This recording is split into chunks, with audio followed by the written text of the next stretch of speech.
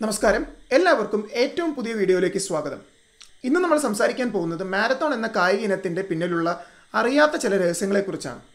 ഇന്നത്തെ കാലത്ത് മാരത്തോൺ ഓടാത്തതായിട്ട് ആരെങ്കിലും ഉണ്ടോ?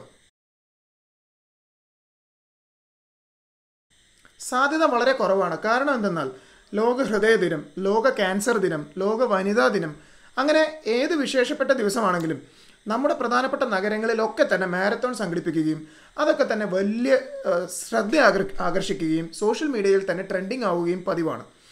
ഇപ്പോൾ നിങ്ങൾ ശ്രദ്ധിച്ചു കഴിഞ്ഞാൽ മനസ്സിലാവും ഹൗ ഓൾഡ് ആർ യു എന്ന സിനിമയിൽ നമ്മുടെ lady super star Manju Warrier അവരുടെ ആത്മവിശ്വാസം തെളിയിക്കുന്നത് പോലും ഒരു മാരത്തോണിലൂടെയാണ് അതേപോലെ തന്നെ ഒളിമ്പിക്സിന്റെ ആദ്യകാലം മുതൽ തന്നെ അതായത് ബി സി എഴുന്നൂറ്റി എഴുപത്തി ആറ് മുതൽ ഇന്നോളം വരെയുള്ള എല്ലാ ഒളിമ്പിക്സിലും മാരത്തോൺ എന്ന കായിക ഇനം ഒരു അവിഭാജ്യ ഘടകമായി ഇന്നും തുടരുന്നു. അതുപോലെ തന്നെയാണ് ലോകത്തെ ഏത് അത്ലറ്റിക് മീറ്റ് എടുത്താലും അവിടെ മാരത്തോൺ ഒരിക്കലും ഒഴിച്ചുകൂടാൻ പറ്റാത്ത ഒരു കായിക ഇനമായി ഇന്നും തുടരുന്നു. എന്നാൽ മാരത്തോൺ എന്ന ഈ കായിക ഇനത്തിന് പിന്നിൽ ഒളിഞ്ഞിരിക്കുന്ന ഒരു രഹസ്യമുണ്ട്. ആ പേരിന് പിന്നിൽ. യുദ്ധത്തിന്റെയും അധിനിവേശത്തിന്റെയും അതിജീവനത്തിന്റെയും ചരിത്രം ഉറങ്ങിക്കിടക്കുന്ന ഒരു പേരാണ് മാരത്തോൺ പുരാതന ഗ്രീസിലെ ഒരു ചെറു പട്ടണം മാത്രമാണ് മാരത്തോൺ മെഡിറ്ററേനിയന്റെ തീരത്ത് സ്ഥിതി ചെയ്യുന്ന ഈ കൊച്ചു പട്ടണത്തിന്റെ പേരിലാണ് പിന്നീട് ലോകം എമ്പാടുമുള്ള പ്രശസ്തി ആർജിച്ച ഈ കായിക ഇനം അറിയപ്പെടുന്നത്. ബി സി നാനൂറ്റി തൊണ്ണൂറിൽ ഇവിടെ ഒരു ചരിത്രപ്രധാനമായ യുദ്ധം നടന്നിരുന്നു. പുരാതന ഏതൻസും അതിശക്തരായ പേർഷ്യൻ സാമ്രാജ്യവും തമ്മിൽ നടന്ന ഒരു രക്തരൂഷിതമായ യുദ്ധചരിത്രം പേറുന്ന നഗരമാണ് മാരത്തോൺ. ബാബിലോൺ ഇന്ത്യ പേർഷ്യ ഒക്കെ അടക്കി ഭരിച്ചിരുന്ന ചക്രവർത്തിയായിരുന്ന ഡാരിയസ് ഒന്നാമൻ അദ്ദേഹത്തിന്റെ സാമ്രാജ്യത്തിന്റെ വിപുലീകരണത്തിന്റെ ഭാഗമായി ഗ്രീസിനെ ആക്രമിക്കാൻ തീരുമാനിച്ചിരുന്നു. അതിന്റെ ഭാഗമായി അദ്ദേഹം ഒരു വലിയ സൈന്യത്തെ തന്നെ അയച്ചു. ഏതാണ്ട് ഒരു ലക്ഷത്തോളം സൈനികരുള്ള ഒരു സൈനിക വൃന്ദം തന്നെ ആയിരുന്നു അത്. അക്രമത്തെ ചെറുക്കാൻ ഏതൻസിന്റെ ചെറു സൈന്യത്തിനാവില്ല എന്ന് പേർഷ്യൻ സൈന്യത്തിന് നന്നായി അറിയാമായിരുന്നു.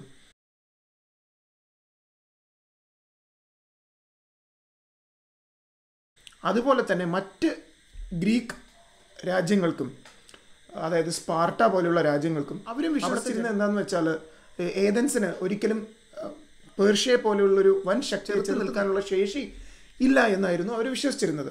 അതുകൊണ്ട് തന്നെ സ്പാർട്ട ഉൾപ്പെടെയുള്ള ഗ്രീക്ക് രാജ്യങ്ങൾ ഏതൻസിനെ സഹായിക്കാൻ മുന്നോട്ട് വന്നിരുന്നില്ല. കാര്യം ഇങ്ങനെയൊക്കെ ആണെങ്കിലും ഏതൻസിലെ ജനതയുടെ അതേപോലെ തന്നെ അവിടുത്തെ സൈന്യത്തിന്റെ ഒരു ആത്മവിശ്വാസം നിങ്ങൾ നോക്കണം.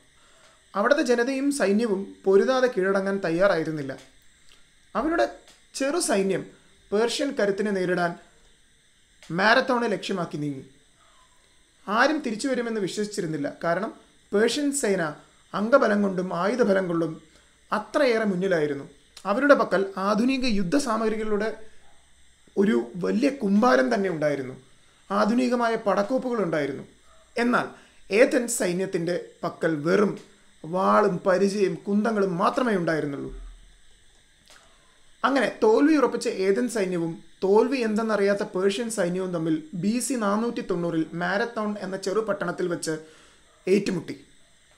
എന്നാൽ അത്ഭുതം എന്ന് പറയട്ടെ ആറായിരത്തോളം വരുന്ന എഥേനിയൻ സൈന്യം ഒരു ലക്ഷത്തോളം വരുന്ന പേർഷ്യൻ സൈന്യത്തെ തറ പറ്റിച്ചു വെറും നൂറ്റി തൊണ്ണൂറ്റി രണ്ട് ഗ്രീക്കുകാർ മാത്രമാണ് ആ യുദ്ധത്തിൽ വീരമൃത്യു വരിച്ചിട്ടുള്ളത്. അതേസമയം ഏതാണ്ട് ഒൻപതിനായിരം പേർഷ്യൻ സൈനികർക്ക് ജീവൻ നഷ്ടമായി. അതുപോലെ തന്നെ അവരുടെ ഏഴ് വൻ യുദ്ധക്കപ്പലുകളും ഗ്രീക്ക് സൈന്യം തകർത്തെറിഞ്ഞു. യുദ്ധത്തിൽ തോൽവി മണത്ത പേർഷ്യൻ സൈന്യം മാരത്തോണിൽ നിന്നും പലായനം ചെയ്യുകയാണ് ഉണ്ടായത്. ഈ സന്തോഷ വാർത്ത അറിയിക്കുവാനായി ഫെഡിപ്പിഡസ് എന്ന ദൂതൻ മാരത്തോണിൽ നിന്നും ഏഥൻസിലേക്ക് ഇരുപത്താറ് മൈൽ ദൂരം നിർത്താതെ ഓടുകയും ജയത്തിന്റെ സന്തോഷ വാർത്ത അറിയിച്ചതിന് ശേഷം കുഴഞ്ഞു വീണ് മരിക്കുകയുമാണ് ഉണ്ടായത്.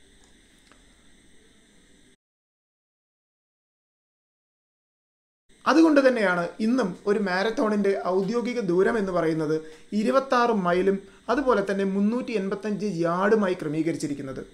ആ ത്യാഗത്തിന്റെയും വിജയത്തിന്റെയും സൂചകമായി ഇന്നും മാരത്തോൺ ഒരു കായിക ഇനമായി നമ്മുടെ ഇടയിൽ തുടരുന്നു. മാരത്തോണിലെ യുദ്ധത്തിന് ശേഷം ഗ്രീക്ക് ജനതയുടെ ഇടയിൽ ഏഥൻസിന്റെ യശസ് ഉയരുകയും അവരുടെ ആത്മവിശ്വാസം കൂടുകയും ചെയ്തു. അവർക്ക് പേർഷ്യയെ തോൽപ്പിക്കാൻ സാധിക്കും എന്ന ഒരു ബോധ്യവും മാരത്തോണിലെ യുദ്ധത്തിന് ശേഷം ഉണ്ടായി ഈ വിജയത്തിന്റെ ചുവട് പിടിച്ചുകൊണ്ട് യൂറോപ്പിന്റെ സമസ്ത മേഖലകളിലും ഗ്രീക്ക് ജനത ചരിത്രപരമായ മുന്നേറ്റം നടത്തിയതായി നമുക്ക് കാണാൻ സാധിക്കും.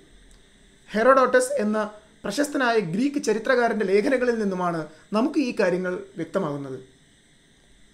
നിങ്ങൾക്ക് ഈ വീഡിയോ ഇഷ്ടമായി എന്ന് കരുതുന്നു. എങ്കിൽ ഇത്തരം വീഡിയോകൾക്കായി ഈ ചാനൽ നിങ്ങൾ സബ്സ്ക്രൈബ് ചെയ്യുക. കൂടെ തന്നെ മറക്കാതെ ബെൽ ഐക്കണും ക്ലിക്ക് ചെയ്യുക.